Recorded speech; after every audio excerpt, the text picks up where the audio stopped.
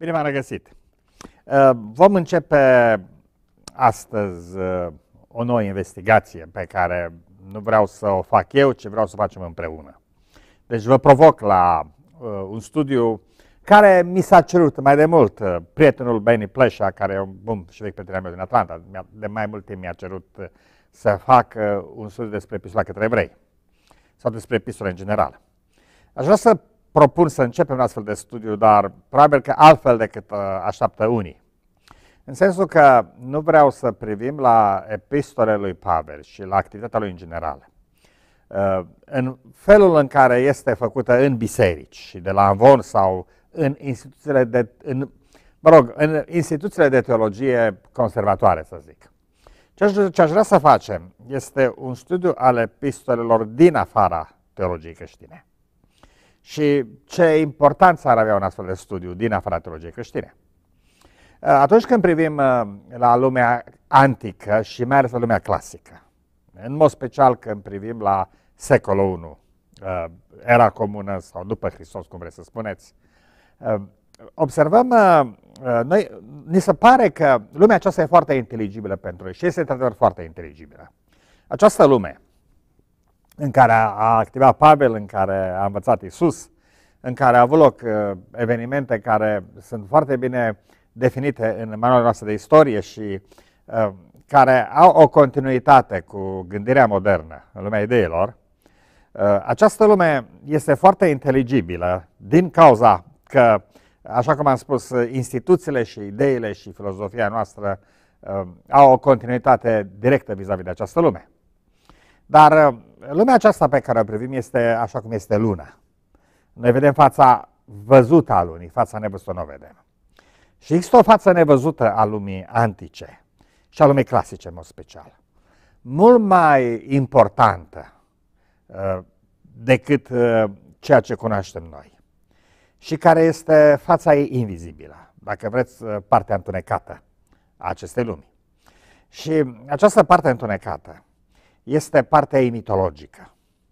Când vorbesc despre partea mitologică, de la început vreau să spun că nu definez mitul așa cum uh, face Mircea Eliade, care, în mod foarte clar, este foarte entuziasmat de mit în uh, sacru și profan. Vede mitul ca un spațiu al sacrului, al atemporarului, ca, mă rog, eterna reîntoarcere prin ritual la un timp anistoric. Uh, nici nu accept acea definiție a trăirii religioasă care se învață, știu, în toate seminarele și prietenii mei care au făcut seminarul teologic eh, știu la, la, ce, la ce mă refer, eh, anume că religia, mă rog, dez, dezbrăcată de revelație, eh, atunci când nu mai credem în revelație, ca să spun așa, este de fapt un simțământ profund, cutremurător în fața a ceea ce numim numenul. Uh, și aici este, de fapt, un amestec de scepticism religios, în sensul că nu mai credem că religia are revelație, cu uh, o anumită filozofie romantică uh, sau postmodernă, care și-a pierdut sobrietatea și chiar seriozitatea în fața sentimentului. Și se entuziasmează de sentiment. Adică, mă rog, știm cu toții că religia face să ai uh, pielea găinii și îți dă fior pe șirea spinării, dar uh, uh, aș vrea să mai degrabă să privesc mitul, așa cum uh, l-a văzut în primul rând Sigmund Freud, la începutul secolului, când a scris Totem și Tabu, sau uh, Moise și monoteismul, la care vom reveni, și după aceea alți antropologi sau psihanaliști sau sociologi s-au ocupat de el. În sensul că mitul, departe de a fi o fereastră spre metafizică, spre ideea temporale, spre ceva transcendentală. Mitul este o fereastră spre alt transcendent. Mitul este o fereastră spre abisul uh, întunecat și fără, fără un, un, un, un sfârșit vizibil al uh, istoriei omului. Uh, și cuprind aici în parte evoluția biologică, dar mai ales uh, acea, acel proces misterios care l-a făcut pe om să fie om. Și mitul, indiscutabil că este o interfață către acest proces. Este singurul raport, uh, singura uh, fereastră care avem deschisă, uh, singurul, singura informație pe care avem către, cu privire la acest proces, uh, cum să zic, diferit și față de arheologie și față de toate științele istorice. Așa că, întorcându-mă la închid această paranteză, ceea ce a făcut Pavel în lumea noastră este indiscutabil că s-a raportat în primul rând la cele două mituri fondatoare ale, ale familiei umane, uh, mă rog, în Eurasia, și anume mitul semit și mitul indo-european, uh, uh, pe care l-a revoluționat și în care a făcut o mutație. Și întrucât aceste mituri încă sunt vii și încă afectează gândirea și istoria noastră în, în inconștientul nostru, și întrucât uh, nici forța lui Pavel nu s-a pierdut. Uh, motivul pentru care vreau să investigăm uh, epistolele este ca să încercăm să vedem felul în care Pavel a făcut această revoluție. Deci aș vrea să zic, fac abstracție și de revelație și de partea religioasă aici. Uh, și, mă rog, și religia, și politica, și filozofia sunt, uh, și gândirea juridică sunt pentru Pavel instrumente ca să provoace această revoluție și vor fi pentru noi instrumente ca să investigăm această revoluție. În mare măsură să ne interesează probleme actuale și modul în care Pavel poate să fie încă actual în contextul uh, tendințelor și evenimentelor din ultimul 100 de ani și mai ales în contextul viitorului sumbru care ni se scrie în față, uh, orizontul fiind deschis ca niciodată în istoria omenirii, dar mai întunecat decât, decât de multe ori în istoria omenirii. Uh, și uh, aș face o legătură cu serialul pe care am ținut înainte, Anno Domini, în care am vorbit uh, de impactul pe care l-a avut Isus uh, asupra istoriei gândirii. Aș vrea să spun că, de fapt, acest impact a fost mediat de Pavel. Și fără îndoială că fără epistolul lui Pavel nu am fi avut uh, ceea ce Anno Domini sau era comună. Și ca atare, e un punct de referință la care vreau să mă refer și aș vrea să încep uh, astăzi cu un eveniment care este în Cartea Fapte 17. N-am, nu sunt Biblia cu mine, o să mă refer la Biblie în mod liber și voi cita liber să voi parafraza liber din Biblie, pentru că uh, vreau să uh, uh transmit mesajul că nu, nu țin o predică, aici o lectură biblică, ci mai degrabă o analiză, uh, mă, mă rog, uh, o analiză antropologică și filozofică și teologică, de ce nu, a lucrării lui Pavel. Uh, dar nu, nu e o lectură biblică, nu e evangelizare, nu este devoțional și așa mai departe și Biblia deschisă ar da acest semnal greșit. Așadar, vreau să începem cu fapte 17, totuși, mă refer la Biblie. Și anume vizita lui Pavel la Atena. Și ca să dau detalii pe scurt, mai întâi, Pavel, uh, Luca face o remarcă. Și remarca aceasta pare pare oarecum nerespectoasă față de formidabila tradiție culturală uh, care ne vine de la greci. Anume că în Atena oamenii nu fac nimic altceva decât să spună ceva nou sau să asculte ceva nou. Și uh, că filozofii epicurei și stoici nu aveau altă treabă decât să discute tot timpul, să spună ceva nou sau să asculte ceva nou. Uh, bine, pare foarte derogativ această afirmație a lui, a lui Luca, dar de fapt reflectă o mutație profundă care a avut loc în filozofie uh, în uh, timpul Imperiului Roman. Și în ce costă această mutație?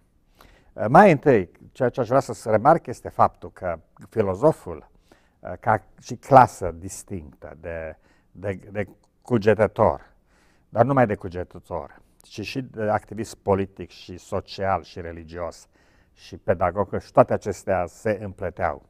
Filozoful a apărut în Polis și Polisul a fost, uh, uh, a fost uh, cetatea liberă. Grecii erau liberi, locuitorii Polisului erau liberi, erau cetățeni.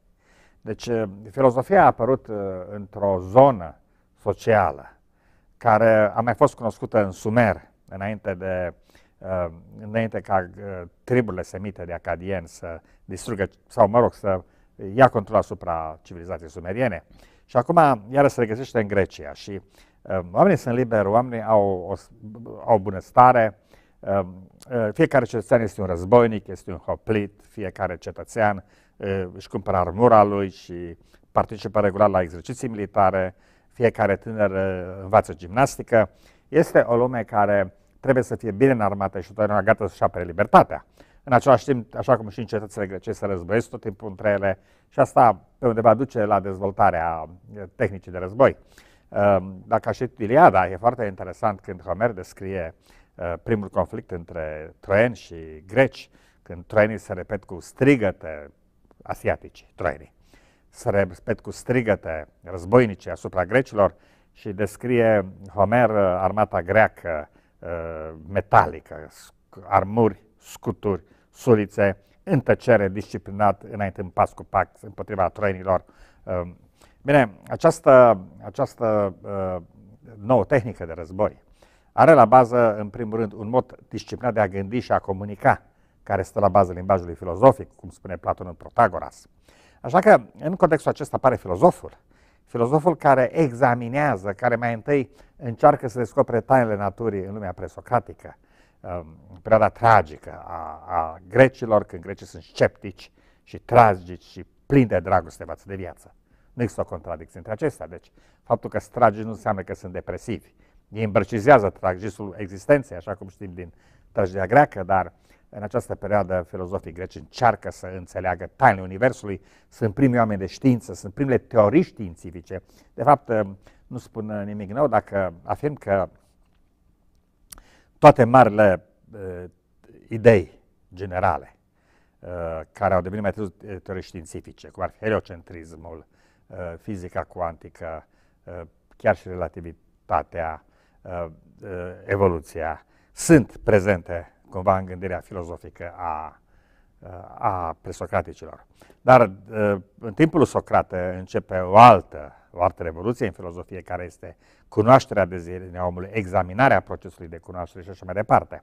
E bine, uh, acest proces al filozofiei este implicit legat de existența polisului ca, uh, ca cetate liberă, care se autodetermină și care, în care cetățeanul se autodetermină.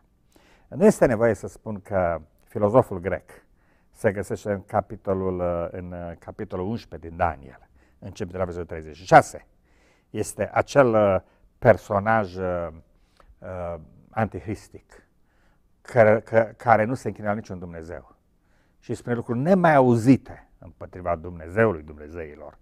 Uh, nu se închină nici la Dumnezeul părinților săi. Însă se închină la Dumnezeul cetățuilor, la polis. Acesta este Dumnezeu filozofului grec. Uh, polisul cu legile lui raționale. Și uh, ce se întâmplă este că pe timpul lui Pavel, când Pavel ajunge la Atena, filozofia nu mai exista în această formă. Uh, examinarea sau hermeneutica, dacă vreți, instituțiilor și ideilor și miturilor și religiilor, este un act revoluționar.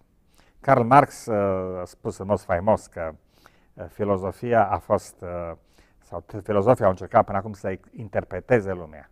Treaba filozofiei nu este ca să o interpreteze, ci ca să o schimbe. Uh, cel mai bun ucenic al lui Marx, Lenin, a inversat această, această sindagmă oarecum și a spus că, uh, a susținut că de fapt filozofia merge la teorie la practică și la practică la teorie înapoi uh, și Lenin după eșecul Revoluției din 1905, foarte interesant, nu, nu s-a dus să, să organizeze comploturi mai bune, ci s-a dus să-l studieze pe Hegel în bibliotecile din Europa și să uh, studieze noua fizică, fizica modernă în, uh, la British Museum, uh, nu știința economică. Deci intră într-o perioadă de reflexie și dacă mergem mai puțin în secolul 20, există anumite schimbări în gândire pe care le vom acoperi în acest seminar despre Pavel. Cel mai reprezentativ fiind Heidegger, care demonstrează că cel mai mult mod de a schimba lumea este să reinterpretezi instituțiile ei. Uh, un istoric obiectiv nu va putea să facă diferență prea mare între Heidegger și Partidul Nazist. Și așa cum uh, Platon nu făcea diferență între fascismul spartan și nașterea filozofiei. Ca atare, uh, eu, uh, uh, filozoful, în momentul când a încetat să mai fie activ politic, să mai fie un creator de noi instituții și uh, un, un, uh, un factor de liberare socială și politică, filozoful încetează să fie filozof. Și aceasta este situația jalnică a filozofiei din, din Atena. În sensul că Luca are dreptate. totul se reduce a spune ceva nou sau a auzi ceva nou. Mă rog, dacă veți este o caricatură a lumii academice din timpul nostru. Când trebuie neapărat să scoți ceva nou și trebuie să pui o listă, o bibliografie imensă la sfârșitul lucrării și trebuie mereu să uh, uh, fii la curent cu ceea ce este nou, dar indiscutabil că nu este vorba de acea reinterpretare radicală a lumii care cuprinde în sine schimbarea ei, transformarea ei. Și disprețul lui Luca față de filozofii greci și implicit disprețul lui Pavel, pleacă de la conștiința faptului că și Luca și Pavel erau într-o misiune de a reinterpreta lumea la temeliile ei. Ce să reinterpreteze? Fiindcă ni se spune, seama, nu-l poți compara pe Pavel cu Aristotel sau cu Platon corect, ca filozofie nu. Dar uh, Pavel este cea mai radicală reinterpretare a miturilor semito- și indo-europene, uh, care, mă rog, se focalizează în imaginea acelui Hristos cosmic. Și, uh, mă rog, dacă vreți, este creatorul noi narațiuni, să spun nou mit, pentru că cuvântul mit i-ar deranja pe, pe mulți. Dar cert este că uh, Pavel este creatorul unui nou mit, asta este adevărul, și unei reinterpretări a miturilor vechi și nu numai a miturilor vechi, toate instituțiile legale și politice și, și uh, culturale ale timpului, Pavel reinterpretează în lumina jertfei lui Isus, în primul rând, a crucii lui Isus, a, rog, a uh, momentului uh, crucii care este decisiv la Pavel și toate acestea, acestea găsesc acolo o împlinire și un punct în care se, se încheie uh, relevanța sau legitimitatea lor și pare să înceapă ceva nou. Deci este o revoluție la Pavel în sensul cel mai radical al cuvântului. Și firește că acest revoluționar, care e Pavel și Luca și grupul lui, care sunt drum spre Corint ca să continue revoluția, au ceva ce se mi amintește de Avram Iancu la Biblioteca Astra din Sibiu, când s-au adunat cu toți ca să discute, mă rog, începuse revoluțiile în Europa și în Ungaria era revoluție și uh, Iancu a spus, domnilor, vorbiți, eu mă duc în munți să fac revoluție. Cam asta este Pavel, adică vorbiți lucruri noi, lucruri vechi, eu am ceva mai important de făcut decât să îmi arăt, uh, îmi dovedesc, uh, uh, mă rog, atributele mele de filozof în fața voastră, decât să spun și să ascult lucruri noi, eu mă duc să fac revoluție. Deci de aici disprețul față de filozofie. Dar mergând mai departe, Pavel se plimbă prin Atena. Și e foarte interesant că este tulburat de mulțimea idolor. De ce se spunea asta la Atena? La urmă, toate cetățile antice erau pline de idoli. Și de ce este Pavel tulburat de, de, de mulțimea idolilor? Apoi se spune că Pavel uh, dialoga cu, cu uh, evreii în sinagogă, cu grecii în agora și până la urmă vorbea despre învierea lui Isus în principal. Asta era ideea. Dar unii au spus că se pare că vestește Dumnezei noi. Așa că l-au invitat pe Corneliu Marte ca să-l asculte. Acum, nu știu dacă filozofii erau chiar interesați să asculte despre un Dumnezeu nou. Uh, bazinul Mediteranei și Imperiul Roman era un loc în care se vehiculau tot felul de Dumnezei. Uh, cum spune uh, Gibbon, toți zei erau luați în serios de populația păgână, adică populația rurală. Și, mă rog, clasele de jos urbane din Imperiul Roman. Și toți zeii erau bajocoriți de filozofi și toți zeii erau considerați utili din punct de vedere politic de către magistrat. De ce ar fi fost interesați filozofii de, de, un, de un zeu nou? Este foarte clar că uh, uh, Pavel, Pavel uh, atinge ceva ce îi interesează pe filozofi. Și ce este acest ceva?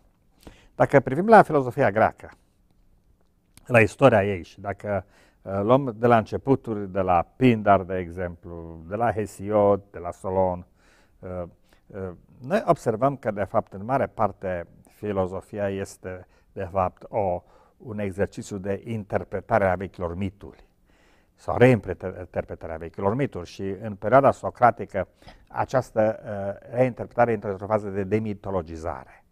Uh, Socrate, Platon demitologizează vechea, uh, vechea religie a grecilor. Dar dincolo de acestea ei creează mituri noi. Gândiți-vă, de exemplu, la uh, Republica lui Platon în care apare și mitul caverne sau apare mitul eternei reîntoarceri. To- uh, uh, toate aceste mituri pe care filozofii le spun, uh, noi nu le înțelegem atât de bine ca semnificație, pentru că nu înțelegem cât de puternică și în, cât de esențială în modelarea instituțiilor și ideilor și valorilor și ideilor fundamentale și a, a întregii baze a societății umane erau aceste mituri pe care uh, filozofii caută să le reinterpreteze. Și motivul pentru care filozofii sunt uh, interesați de Pavel este pentru că el oferă o, nu o filozofie nouă. Este clar, Pavel nu este un filozof. Nu se mișcă în uh, spațiu dialectic, ci filozofic aici. Pavel este foarte clar un filozof în sensul în care au fost filozofii greci în secolul 6 sau 5, în sensul de uh, o reinterpretare radicală a, a vechilor mituri. Uh, în sensul acesta, el vestește un Dumnezeu nou. Și e foarte clar că pentru filozoful grec lucrul acesta era părea mai important decât pentru noi. Fiindcă filozoful grec știa că la temelia societății se află miturile mai mult decât el știa că abisul timpului uh, îl privea prin interfața miturilor și uh, nu avea altceva decât aceste mituri. Așa că Pavel merge sus pe colinele lui Marte, mă rog, la Areopag și mai întâi le spune filozofilor în tragerea Cornilescu, în toate vă găsesc foarte religioși. Îmi place tragerea King James, care spune în toate vă găsesc foarte superstițioși. Și de fapt, cuvântul religios este tradus bine, cu o, o rezervă. A fi religios nu este un compliment.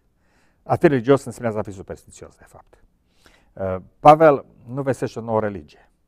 Să nu vrea să facă pe oameni mai religioși. Aici este diferența probabil între felul cum aș prezenta epistolele într-un context de anvor sau devoțional și felul în care uh, epistolele sunt prezentate cu un ochi mai lucid și mai, mai, mai critic.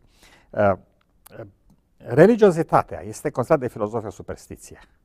Și un filozof religios nu este un filozof, este superstițios.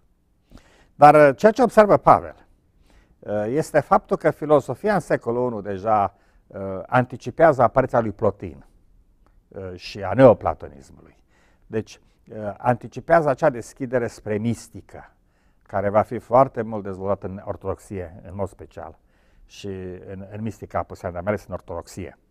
Uh, și în care filozoful devine religios implicit, devine idolatru. După aceea, Pavel se referă la faptul, le spune filozofilor, după ce dă un citat din Epamenide, în el avem viața, ființa și mișcarea, pe care îl voi, voi, voi comenta mai târziu acest citat. Dar le spune filozofilor că nu trebuie să credem că Dumnezeu este în, în temple de piatră făcute de mâini și idoli. De ce le spune filozofilor acest lucru? Asta trebuia spus oamenilor de rând de pe stradă, nu filozofului, care știa aceasta. Dar se pare că filozofia, odată în, în dreptate spre mistică, implică o fetișizare a realității. Și asta se vede în 2000 de ani de istorie creștină care au urmat. Fetișizarea realității, biserica ca loc sfânt, moaștele, icoanele, veșmintele preotului, mă rog, sfinții, uh, toată această fetișizare a realității nu, nu și are rădăcina în, uh, de fapt în creștinismul lui Pavel, ci și are rădăcina în acea tendință a filozofiei de a deveni mistică. De ce? Uh, există o explicație pentru aceasta și Bartol Russell o dă foarte bine în istoria filozofiei apusene, anume că Odată pierzându-și libertatea politică, uh, filozofii au fost tot mai interesați de natura lui Dumnezeu. Și acest interes pentru natura lui Dumnezeu a filozofilor, pe care Pavel spune, sunt foarte religioși, prea religioși, de fapt, prea superstițioși, uh, de fapt, reprezintă uh, un, o anumită atitudine care va caracteriza creștinismul 2000 de ani de acum înainte, un anumit dualism, trup și suflet lumea aceasta, lumea viitoare, faptul concret al vieții și Dumnezeul care este în afara timpului. Abia la sfârșitul secolului XIX și începutul secolului 20 se reîntoarce uh, tradiția filozofică. Uh, nu, mă rog, se reîntoarce tradiția filozofică la faptul imediat, la uh, existența uh, manifestată în, în, în lume, nu în afara lumii. Uh, și uh, E clar că fetișizarea realității, așa cum am spus, este parte din acest proces. Pe de altă parte, uh, uh, uh, odată ce Imperiul Roman a luat toate, toate drepturile, filozoful nu și nu poate fi altfel. Pentru că filozoful nu mai poate fi cetățeanul polisului, hoplitul filozof, cum era Socrate. Socrate era a putut să fie și filozof, dar și hoplit, și infanterist cu sabia în mână și a luptat cu un curaj extraordinar pe câmpul de luptă.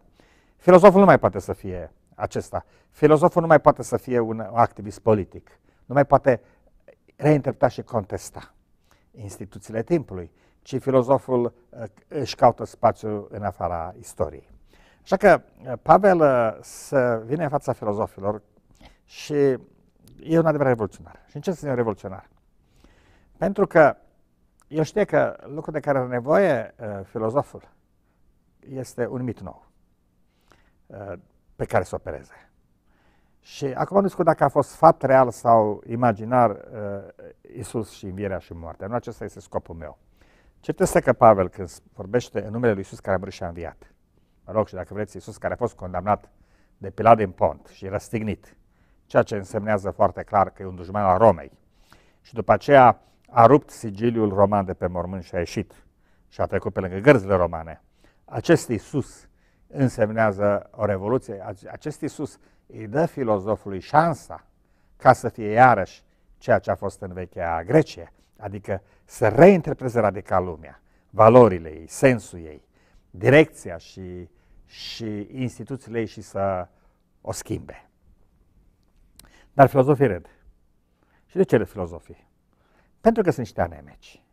Pentru că sunt niște efeminați, niște masculați, care nu mai au în ei uh, sângele pe care l-a avut cu 300 sau 400 sau 500 de ani înainte uh, filozoful. Și uh, râsul filozofilor, de fapt, uh, dovedește uh, nu atât de mult, uh, mă rog, raționalismul, scepticismul filozofic uh, vis-a-vis de o idee religioasă, ci mai degrabă incapacitatea lor de a face ce a făcut câteva Platon și Socrate și alții, anume de uh, a, a propune mituri noi. Și a, a, a face o revoluție în interfața sau, mă rog, uh, dintre civilizație și uh, abisul timpului în care s-a format omul ca om, sau dacă vreți, în, uh, în, în baza în baza existenței umane, ca atare.